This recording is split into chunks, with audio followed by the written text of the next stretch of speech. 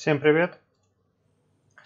Здесь недавно задались вопросом, есть ли какой-то способ, чтобы устранить перекачку на, допустим, вулкане, или если вы заходите в какие-то очень горячие, горячие помещения, э, перекачку из вашего кислородного баллона в ваш баллон с отходами.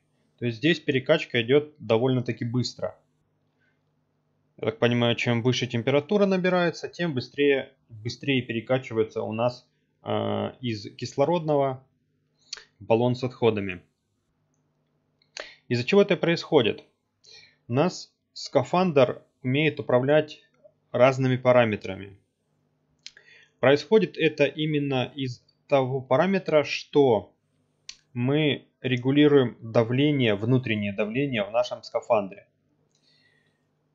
как я понимаю, это не точно, но я понимаю так, то что идет превышение давления, и все, что свыше, хотя он здесь показывает, что давление меньше, но на самом деле он просто его выкачивает, и поэтому давление становится меньше.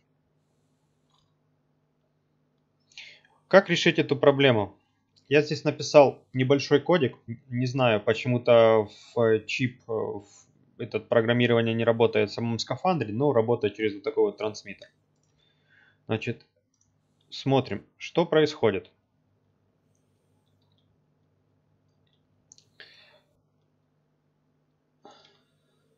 Сейчас. Устанавливается давление в 202 кпа в костюме.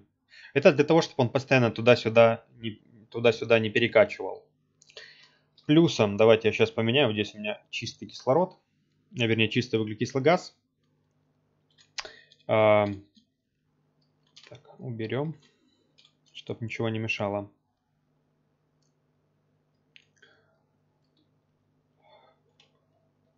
Смотрите, это что вот сейчас он давление набирает, это из-за нагрева. То есть газ нагревается, расширяется. Смотрим на этот баллон. На этом баллоне все у нас четко. А, то есть что происходит? А, у нас накачивается давление, давайте вот так как-нибудь, чтобы виднее было, до 202 кпа, это максимально, что он может накачать. Потом выключается наш э, регулятор давления. За каждый тик наш космонавт потребляет какое-то количество кислорода э, в самом, в самом костюме, то есть он перерабатывает. И то, что он, то, что выдыхает углекислый газ, у нас сразу откачивается вот сюда, а, в этот баллон с отходами. А именно перекачки кислорода в баллон с отходами в таком случае не происходит. То есть вот мы сейчас бегаем, максимальная температура, кислород у нас практически не тратится. Вот здесь сейчас он потратится до определенного значения. Я там 25 кпа поставил. То, что если ниже 20 кпа это уже начинаются у космонавта там проблемы, начинают выходить ошибки. Давайте проверим, что у нас ничего туда не попадает. Включим вот эту штучку, выкинем его. Чистый углекислый газ. Никакого кислорода, ничего. Давление растет за счет того, что поднимается температура этого баллона, потому что он нагревается. А также этот баллон еще служит э, для охлаждения, то есть без, не, без этого баллона у нас не работает наш кондиционер. Реализовано все это очень просто. Код программы очень простой. Единственное, что почему-то не работает, что мы пишем непосредственно скафандр. Можно было бы написать здесь SDB, вот это D0 на DB поменять и э, вставить вот сюда в скафандр, в специальный слот для этого скафандра. Но, я так понимаю, с добавлением вот этого чипа, либо они что-то поменяли как-то по-другому, нужно программировать, но информацию не нашел, если информация у вас есть. Оставьте в комментариях, когда перепишу код. Вот. Либо они что-то поправят, и тогда уже как поправят, перепишу код. Пока что это работает через вот такой трансмиттер. А, как, как сделать такую же схему.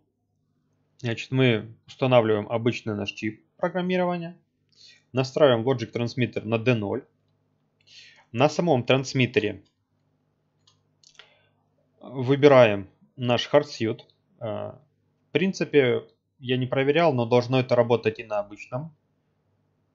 Как он называется, этот обычный EVA скафандр. Можете проверить, если он, если он управляется а, вот такой вот, как-то чип, чип связи, да, по-моему, по-русски это называется.